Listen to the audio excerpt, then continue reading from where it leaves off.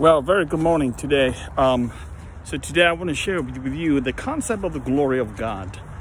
You know, I got this because I was reading Acts, uh, Luke, Luke chapter two. The shepherds were out in the uh, in the in the open field, and suddenly an angel of the Lord appeared to them with the glory of God that dazzles their eyes. They were frightened.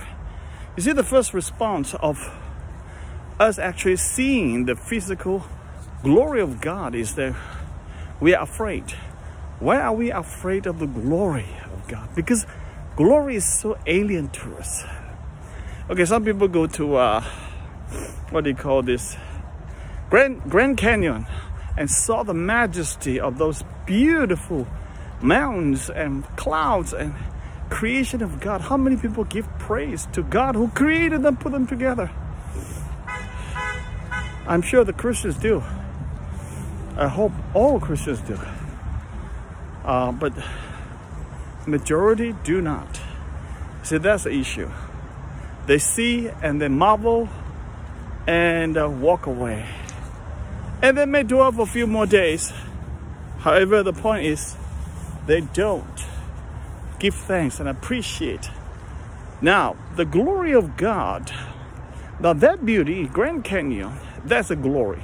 It's nothing. It's such teeny compared to the glory of the Lord that is to come. You know, the thing is, the glory has come to the shepherds in the open field.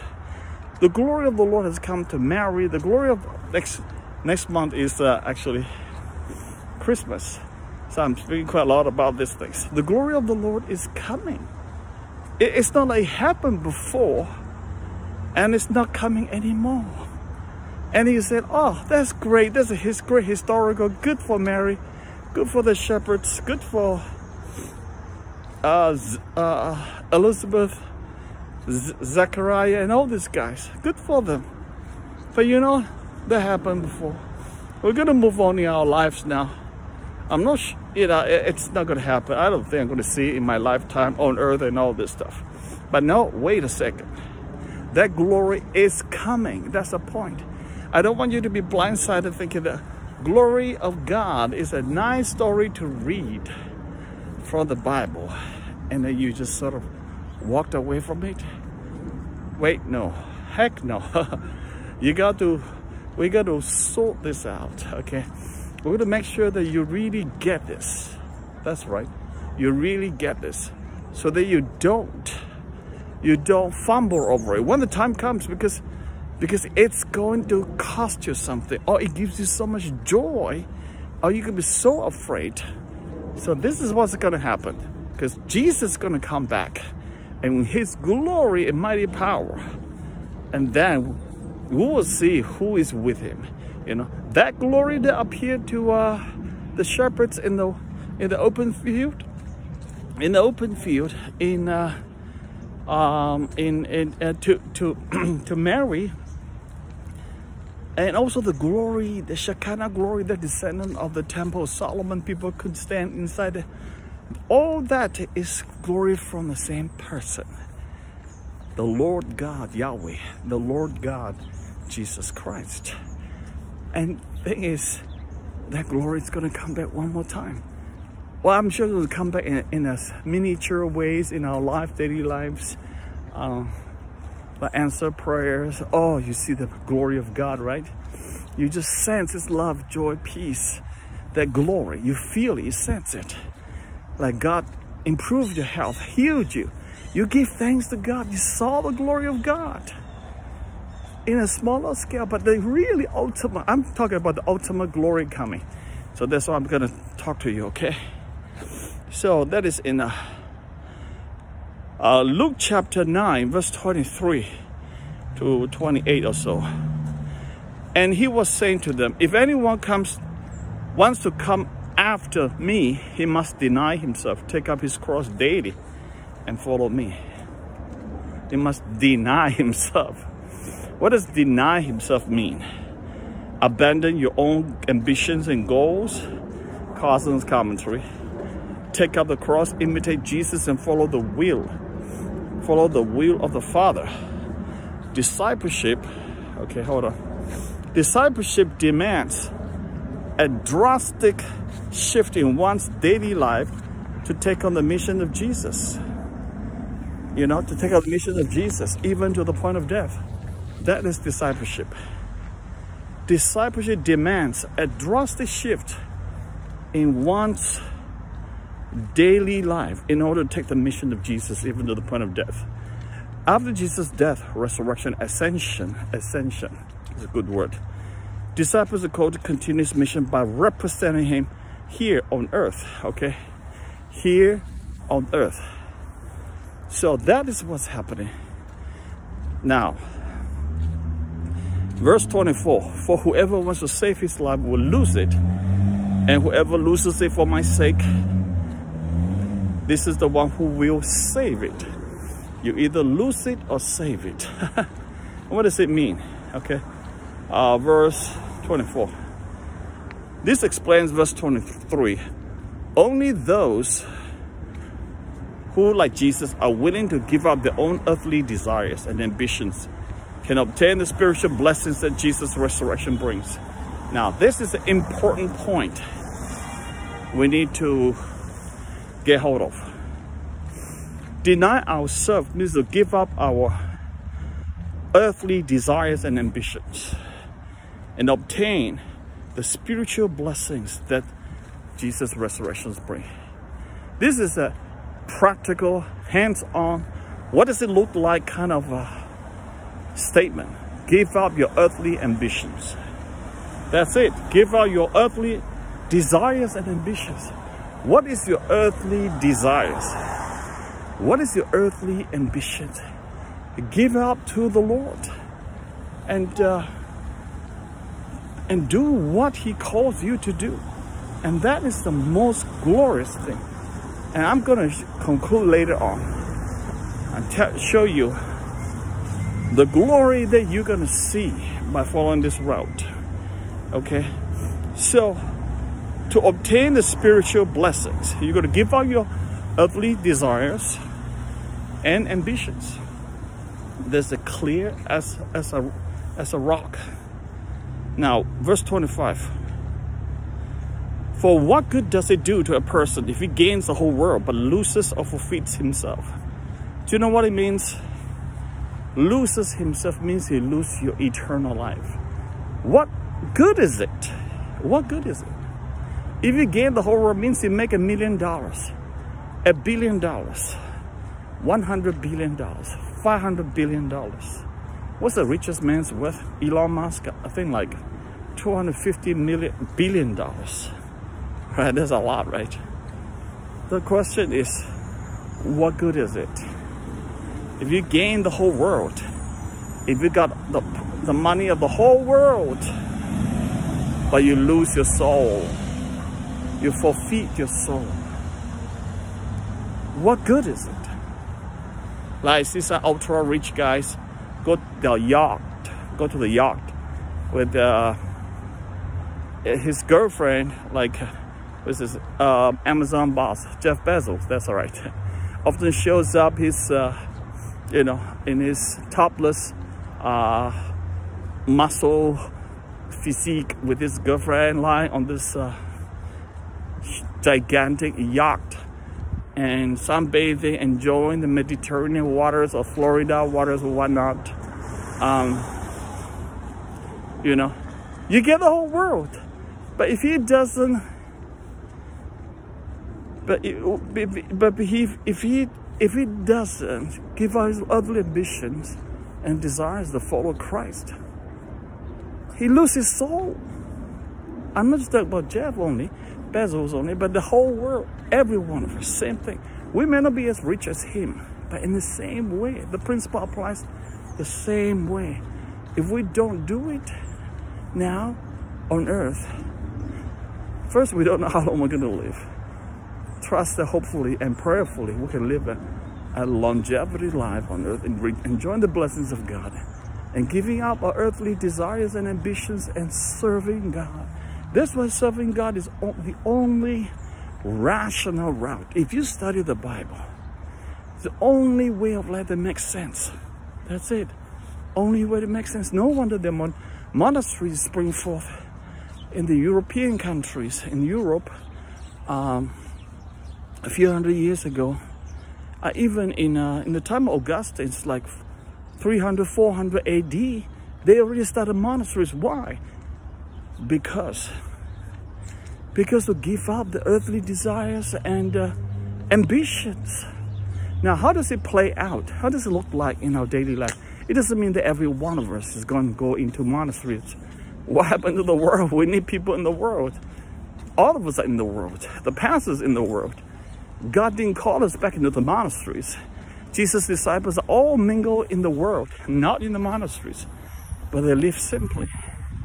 There is no, nothing luxurious in Peter's life, John's life, James, Peter, James, and John's life. Oh, Paul. Oh, Paul. Come on, give me a break. Paul is the most on fire guy, the most productive, effective, anointed apostle of all times. Sometimes got shipwrecked, floating in the ocean for, for days for the sake of the gospel, get flogged, and I get, get jail sentenced most of the epistles were written by him while in jail. See that?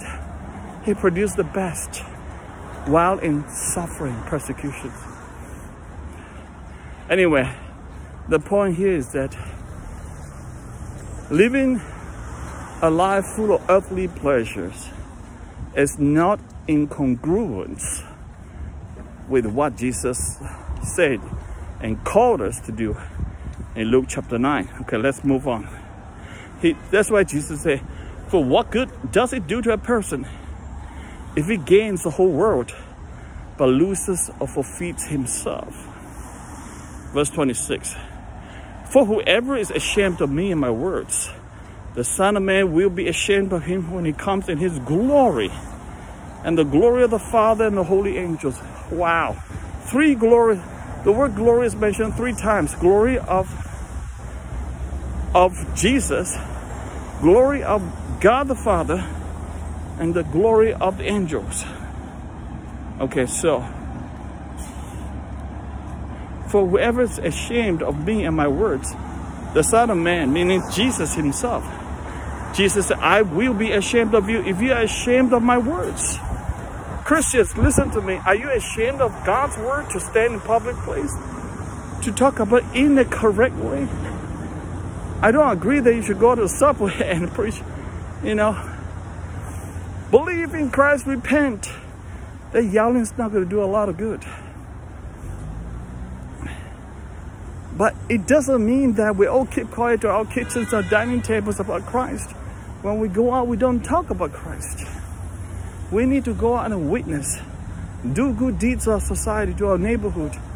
I know that the church we go to now, they, they are having this uh, what do you call this, a neighborhood, uh, neighborhood counseling, helping the poor. They're big on justice, kind of thing. All right. Um, so the call to be faithful Jesus in the context, a reference to his death, okay, to the point of death. He said, if you are ashamed of me, I will be ashamed of you when I come. Wow, big word, piercing words. Who are you going to be ashamed of now? Are you going to be ashamed of Christ? Or going to be ashamed of the world? Are you so hooked winged, hooked into the pleasures of the world that you can't any see any rationality anymore? You can't see anything that makes sense anymore. What's wrong with you and me? so we need to repent and come and need to change your mind mindset. Okay, Carson says in verse 26, the call to be faithful to Jesus in the context of reference of his death and resurrection also appears in later confessions of faith, like 2 Timothy 2, 11 to 12. Let's take a look quickly on that one. Um, the statement is worthy. If we die with him, we also live with him. If we endure, we will reign with him. If we deny him, he will also deny us. If we are faithless, he remains faithful, for he cannot deny himself. You see that? If we died with him, we will live with him. If we endure, If we endure, we will also reign with him. Enduring and reigning goes together. As Jesus is rejected by many on his way to the cross, this commentary, those who follow him are called to participate in this, this, this act of rejection. So Jesus got rejected. Jesus calling us that in order to be his followers, be willing, be ready to be rejected by these people, by some of these people in this generation. It's okay to be rejected. You have not dropped into hell, but you should be shocked and ashamed and uh, and uh, and uh, disappointed and really depressed is when Jesus comes back with his glory, he's ashamed of you. Okay? So, as Jesus is rejected by many on his way to the cross, those who follow him are called to participate in this act of rejection. Wow, that's the Carson's word. So that's that's amazing to to uh, to be willing to participate this this uh, this act of rejection. So guys, if you ever get rejected by your friends because you believe in Christ and live a life of holiness and righteousness, bravo, praise the Lord. Because you are actually participating in this act of rejection. It's fine. It's more than fine. It's glorious. It's glorious. Let me tell you this. Our society today is pretty hostile to our faith in Christ. So hold on to it, never budge, and keep going at it. It shall be beautiful, shall be glorious, shall be so wonderful and glorious, okay? Right, when it comes in His glory.